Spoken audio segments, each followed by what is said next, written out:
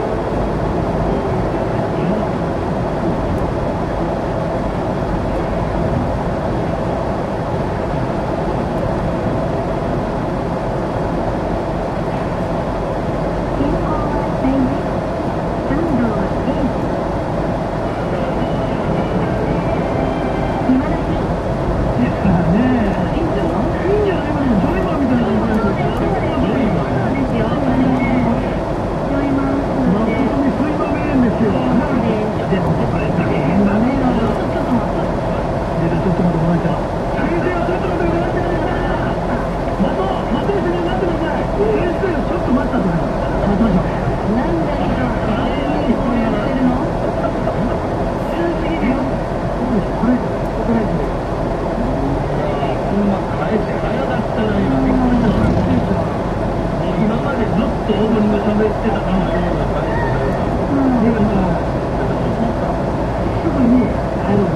Thank you.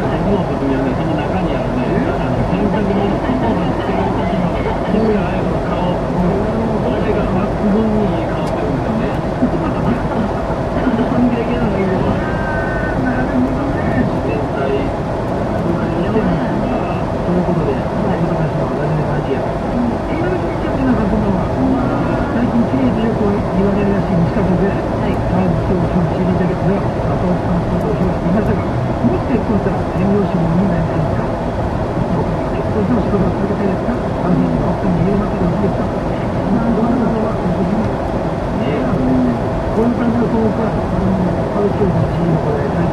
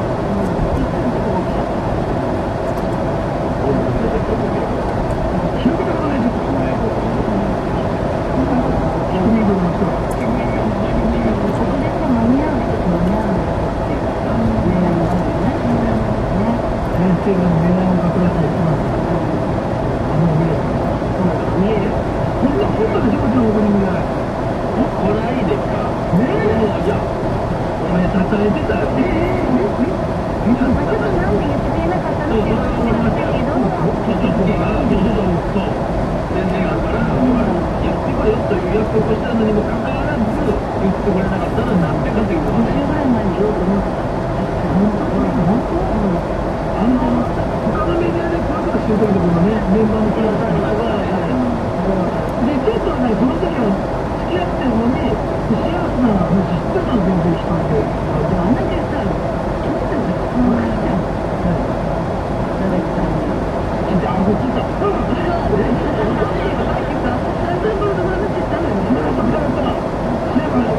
付き合ってるでも頭そうどうやったら付き合うのかっていうなん面白い今ちょうど始まりの部分って言ったじゃんなるほどじゃあみんなデジャブ的な意でも聞いてた的なことデジャブで、うん、そうなんだ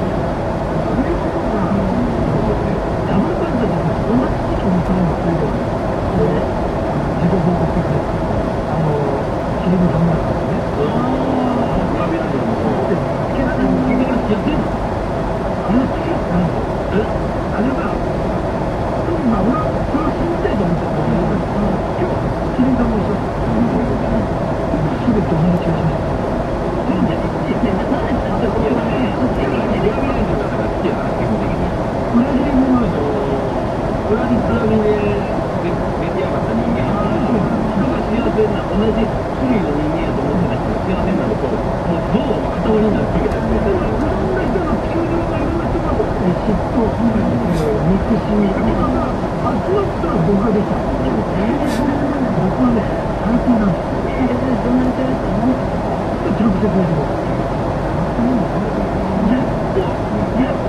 お食事してくれる